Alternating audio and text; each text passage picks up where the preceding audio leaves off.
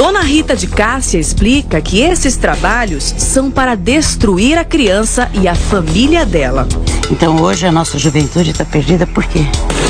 Por isso que atiça, que agride o pensamento do jovem a fazer o que não precisa. Um doce causa um doce estrago todo. causa tudo isso.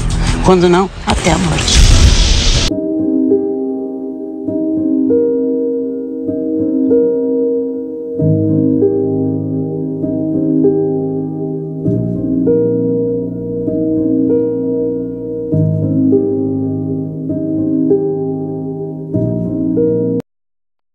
Beleza, beleza, galera? Sejam bem-vindos a mais um vídeo no canal.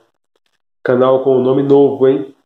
Mira News BR, tá? Mudei o nome, nome mais fácil de se pronunciar, ok? Espero que gostem. Galera, esse vídeo de Cosme e Damião, estamos falando de religião. É algo muito polêmico, tá? Peço que vocês comentem com respeito e educação. Beleza? Temos que respeitar sim todas as religiões, né? A fé de cada um. O que você acha? Realmente os doces são amaldiçoados? São abençoados? Deixe a sua opinião. Beleza? Tamo junto. Curtam o vídeo. É nóis. Os gêmeos Cosme e Damião são os chamados santos protetores das crianças. A história conta que eles eram médicos e faziam caridade, curavam os enfermos. Os pequenos não gostavam de tomar os remédios e os irmãos então ofereciam doces e balas para ajudá-los a tomar a medicação. Santos são alguns dos mais populares, têm milhares de seguidores. No dia dedicado a eles, as crianças fazem fila para ganhar doces. Uma tradição que já dura séculos e séculos. E Damião também são celebrados pelo candomblé. Na Umbanda, os irmãos são associados aos ibejis, gêmeos amigos das crianças que dão tudo o que elas pedem. Os templos são enfeitados, principalmente no dia dedicado a eles, o 27 de setembro. Mas por trás da alegria que vem dos doces, existe uma história bastante obscura.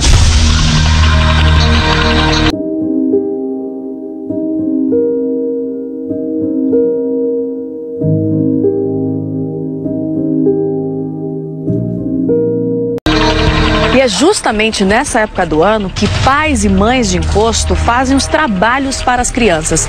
Ou seja, existe muita coisa além das balas e dos doces que elas costumam receber na época de Cosme e Damião. Eu estou aqui com a dona Rita de Cássia, ela é ex-mãe de encosto. A senhora serviu aos encostos quanto tempo, dona Rita? 35 anos. 35 anos servindo, 35 anos servindo aos encostos. Sim. A senhora pode explicar pra gente como é que são feitos esses trabalhos nessas casas de encostos para as crianças? Normalmente ela começa dia 12 de agosto 12 de agosto, e ela encerra dia 12 de outubro, no Dia das Crianças. dia das crianças. Só que aqui é uma pequena amostra, porque a festa maior é dentro do terreiro. Então aqui a gente distribui para distribuir para as crianças do espaço. Tá? Eu já estou mudando. Ou seja, quando as crianças fazem aquelas filas para receber as balas, aquelas Isso. balas já estão todas consagradas. já está toda preparada para Aham. estar aqui. Aqui a gente traz um pouco para montar e mostrar para vocês o que a gente faz. Onde não vai. Aparentemente tudo nocivo, né? Nada é nocivo.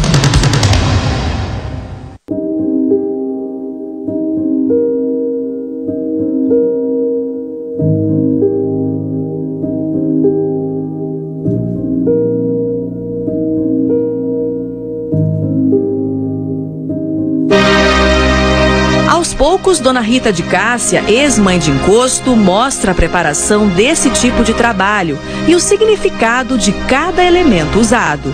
As balas significam o oposto da proteção e trazem enfermidade.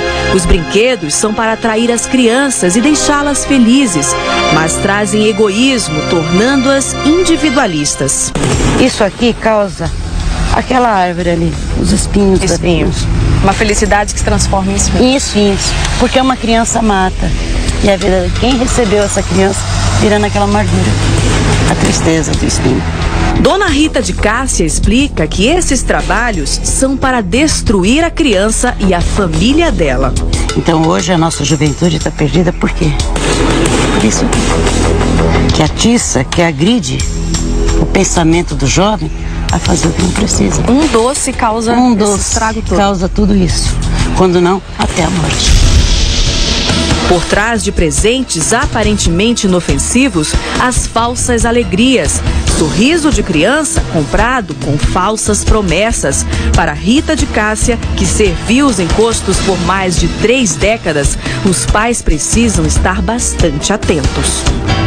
Não permitir seus filhos apegar nada, nada de alheios, porque o que vai trazer é só lágrima. É um conselho que eu dou procura Jesus, procura o caminho, porque ali você vai encontrar muita força para tirar seus filhos desta, desta legião.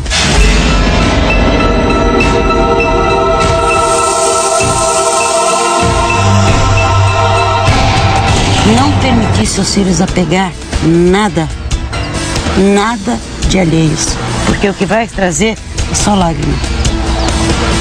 É um conselho que eu dou procura Jesus, procura o caminho, porque ali você vai encontrar muita força para tirar seus filhos desta, desta legião.